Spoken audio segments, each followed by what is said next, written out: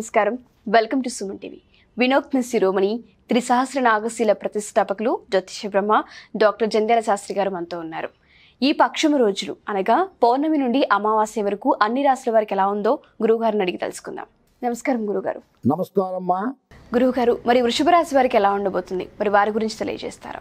ఓం గ్రహం మూలం సర్వం జగత్.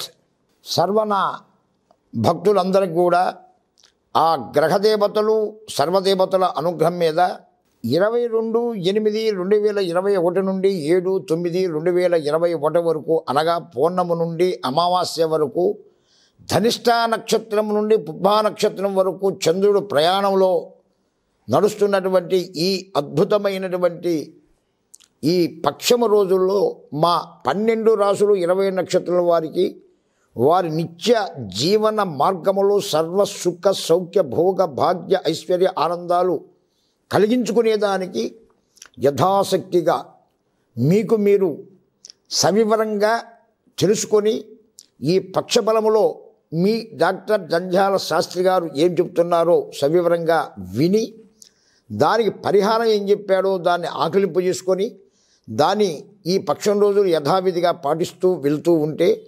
ఎనలేనటువంటి శక్తి సామర్థ్యములతో మీరు నిత్యము చేసే పనుల్లో ఏదోతే మీ మనసోత్సాహంగా ధర్మపైనటువంటి కార్యాన్ని జయించాలి అనేటువంటి సత్సంకల్పంతో ప్రయత్నిస్తారో ఆ ఫలితానికి ఇది కాస్త అండగా దండగా గొడుగు నీడలాగా మీకు ఉండేదానికి అవకాశం ఉంటుందనేటువంటి సత్సంకల్పంతో మీ ముందు తీసుస్తున్నాను ఈ పక్షఫలములని. ఏ రాశికి ఆ రాశి సవివరంగా తెలియజేస్తూ దానికి పరిహారాలు అందిస్తాను కనుక దీన్ని మా భక్తులు స్వాగతిస్తారని మనస్ఫూర్తిగా కూడా విశ్వసిస్తూ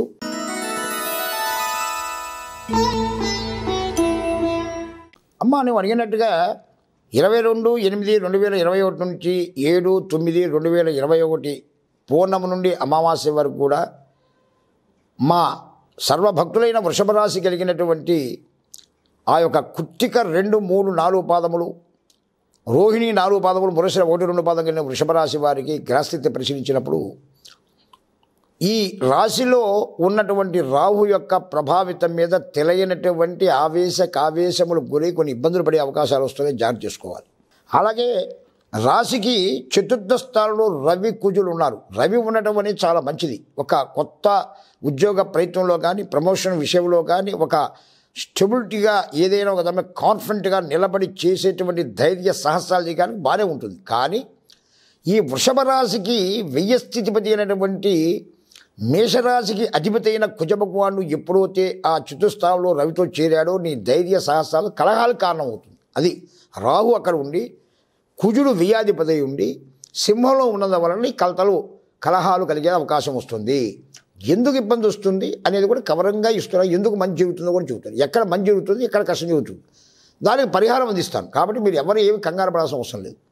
అలాగే ఆ రాశాధిపతి అయినటువంటి శుక్రుడు రాశికి షష్టమాధిపతి కూడా ఆయన అవుతాడు. అలాగే రాశి ద్వితీయాధిపతి షష్టమాధిపతి అయిన బుధ భగవానుడు ఆ రాశికి పంచమ స్థానంలో ఉన్నాడు. పంచమాధిపతి పంచమలోనే బుధుడు ఉన్నాడు.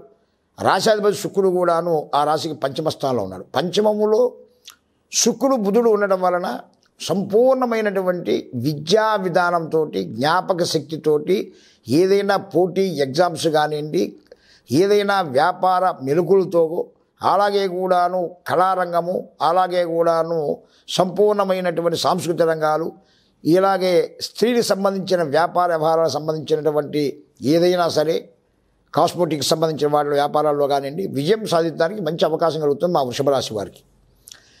అలా బాగానే ఉంది. తర్వాత గురువు కూడాను వృత్తి స్థాయిలో ఉన్నాడు కాబట్టి నువ్వు చేసే ఉద్యోగం కానీ ఏ ఏ పనిలో అయినా కాస్త మంచి పేరు ప్రఖ్యాతులు ప్రమోషన్లు తెచ్చుకునే అవకాశాలు మెండుగా ఉన్నాయి.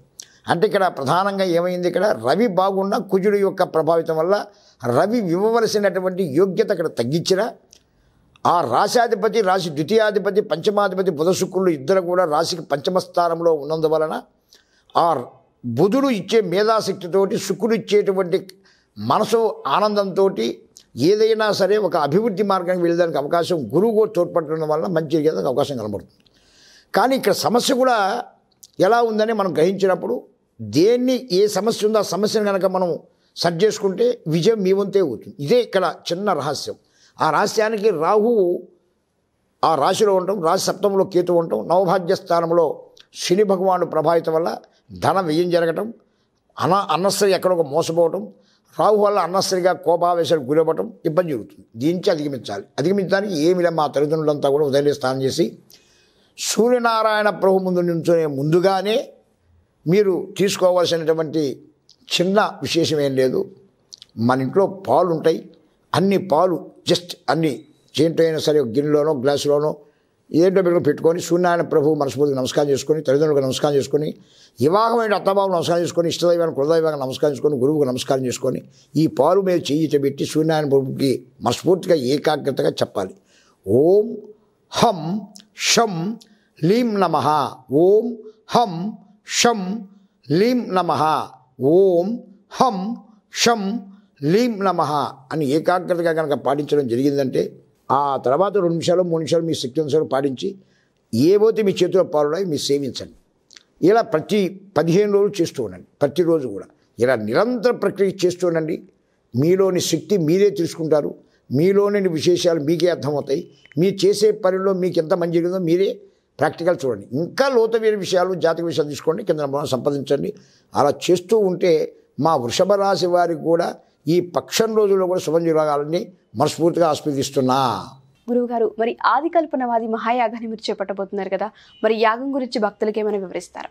ఈ సమయంలోనే మీకు ఒక గొప్ప విశేషాన్ని మీ ముందు దివస్తున్నాను సావధాన చిత్తులై విని దాంట్లో మీరు భాగస్వాములు అవదానికి ప్రయత్నిస్తారని నేను విశ్వసిస్తూ ఓ నా భగవద్బంధువులందరికీ కూడాను శుభాశీసులు యాగం ఒక యోగాన్ని తెస్తుంది.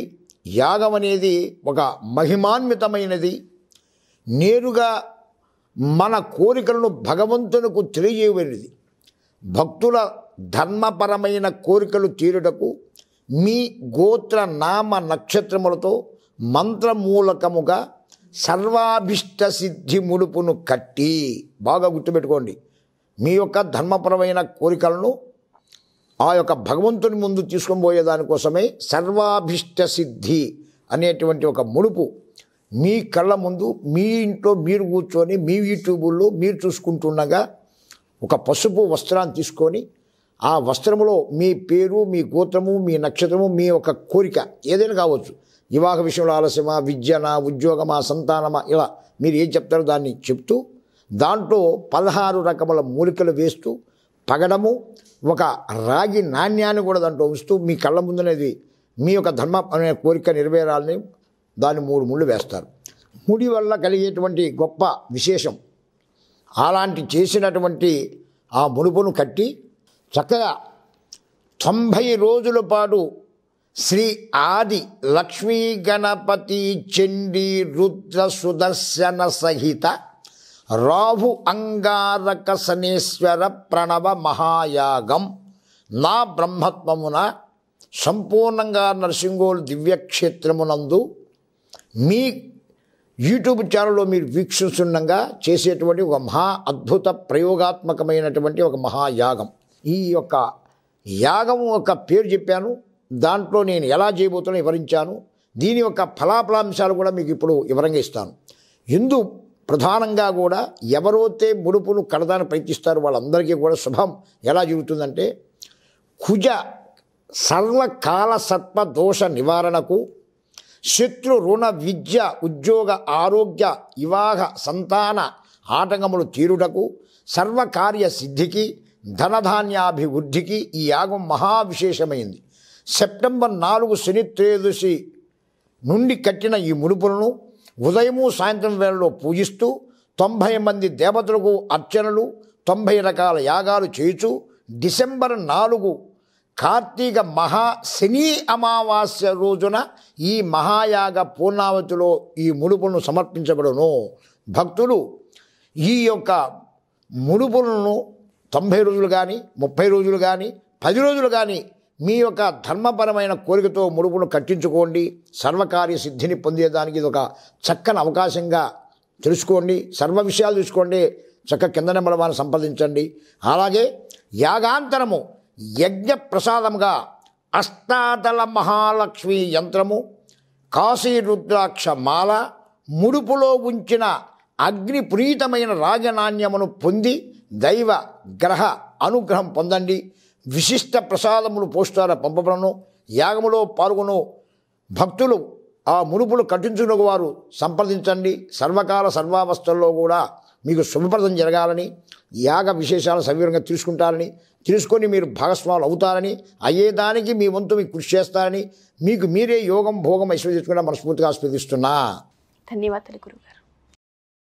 సో విన్నారు కదా గురువుగారి మాటలు. ఈ రాశి వారు ఈ పరిహారాన్ని చేసుకోండి.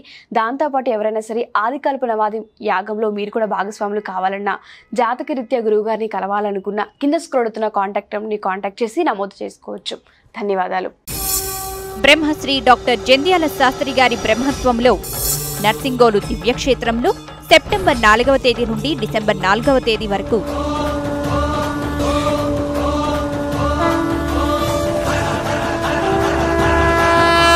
ఆదికల్ప నవాతి మహాయాగం.